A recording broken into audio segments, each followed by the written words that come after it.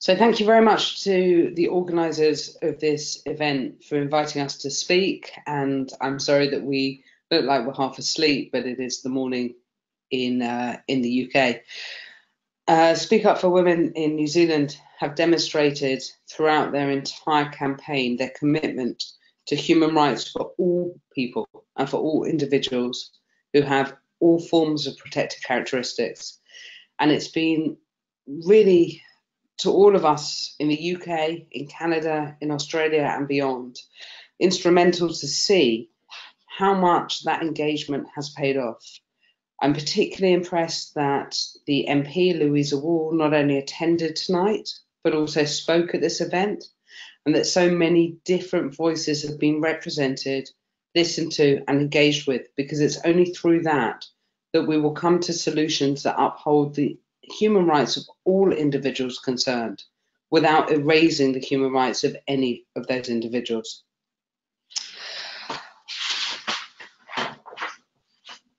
The announcement at the beginning of this week that there will be a greater public consultation in New Zealand is one that I think we all should celebrate because the public, all of us as individuals, have a stake in what's going on in terms of women's rights, and in terms of the rights of transgender individuals who are some of the most vulnerable people in our communities and populations.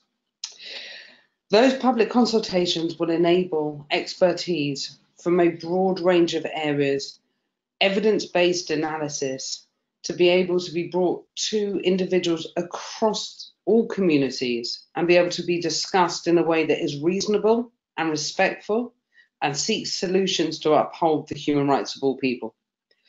The expertise that I can bring and that my colleague Julian can bring is an expertise on law. And I will begin by framing this talk in terms of international human rights law, and Julian will then turn to the national human rights law and how national human rights and national laws impact upon all individuals. International human rights law began after the horrors of Nazi Germany.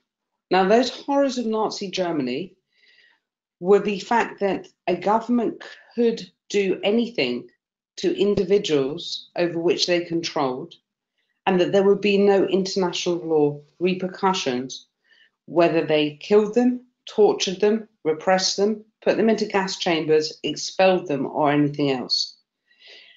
While those kind of horrors had been going on throughout colonial history for many hundreds of years, when those horrors were brought to the shores of Europe, the world rose up and said, never again should the weak individual have no recourse against the big and powerful state. And so, in 1945, at the end of the Second World War, and after the horrors of Nazi Germany, the United Nations was created, and the United Nations said, we will create a declaration of human rights that all of us hold by virtue of being born human. Those fundamental rights belong to all of us, no matter what. And it is in, within that framework of international human rights law that I want to talk. When the Universal Declaration of Human Rights, which set out the fundamental rights that all of us hold by virtue of being born human, was created, there was a big conversation about whether vulnerable groups, and particularly at that time women, should have specific rights given to them because they were oppressed, subjugated, or in any other way had their rights taken away from them by the societies in which they lived. And at that time, the countries, which were only about a quarter of the countries that exist today, said no. From an idealist perspective, we ought to think about those human rights as being given to every human being, no matter what their vulnerable or protected characteristics are. But it became clear very quickly that women were going to continue to be subjugated and oppressed and other vulnerable minorities within countries would be subjugated and oppressed by virtue of their specific vulnerabilities. So, Within the first few years of the Universal Declaration being declared in 1948, the United Nations said we need to have specific mechanisms to protect women and to create mechanisms that would protect the specific vulnerabilities that women face that were beyond the vulnerabilities of anyone else. And over a 20 year period, those specific vulnerabilities were looked into and were addressed in international law and international mechanisms. And because of that, we now have specific mechanisms to protect children, people with disabilities, people, people of racial minorities, people from all forms of other backgrounds, where their backgrounds might make them more vulnerable to human rights abuses than the average straight white male. What we're looking at today, and what we're looking at generally in the world, is this idea that on the one hand, women are marginalized, oppressed, and subjugated. That violence against women is a massive problem across all forms of societies. And also at the same time, that gender identity minorities or transgender individuals are also a vulnerable group who experience all sorts of marginalization, discrimination, and oppression in terms of their fundamental human rights. We all, as people from vulnerable groups, and particularly the people who are sitting in this room today, understand the need for us all to step up and speak up for the fundamental rights of all individuals, and that includes transgender individuals.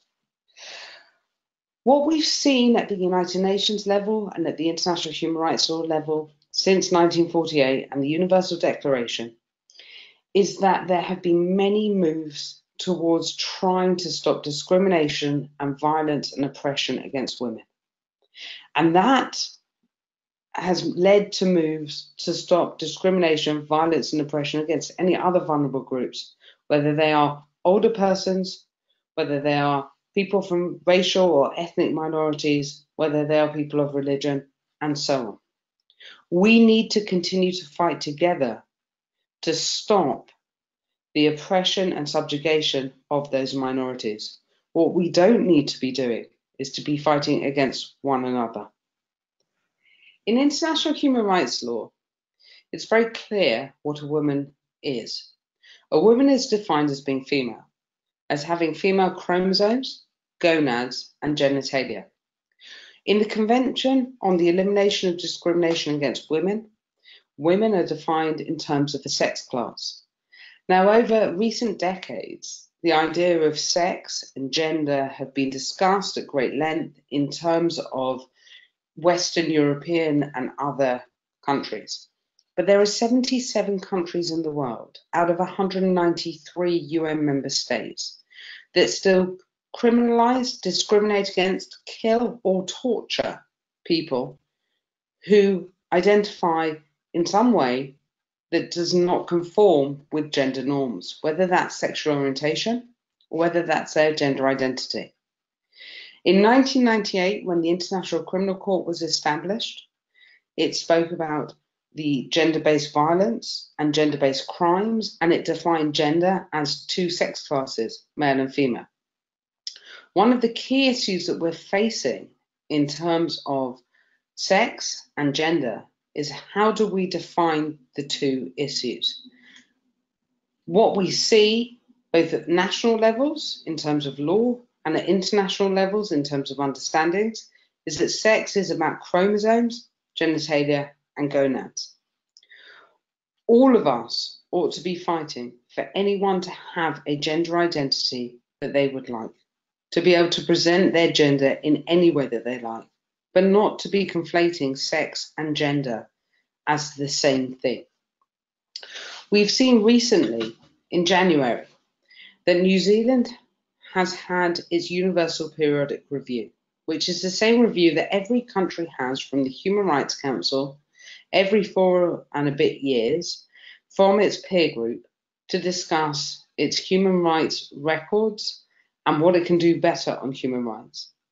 11 of the recommendations made were around sex and gender, around the pay gap between males and females, around the gap between how many males versus how many females are sitting on boards, around the issues to do with education and males and females. The fight around what we need to do for female children and for female adults has not gone away, no matter whether we are a Western European country or whether we are a country from another region. We all need to be fighting also for transgender individuals because those individuals face all sorts of discrimination and violence in all countries, including our own. What we need to be doing is looking at the different protected characteristics that Julian will talk to in her part of the talk. We need to be looking at them not as being the same as one another, but as separate and how we can all fight to make sure that there is no discrimination and there is no violence and there is no state condoned human rights abuses against any of these individuals. And how can we uphold the human rights of all people concerned?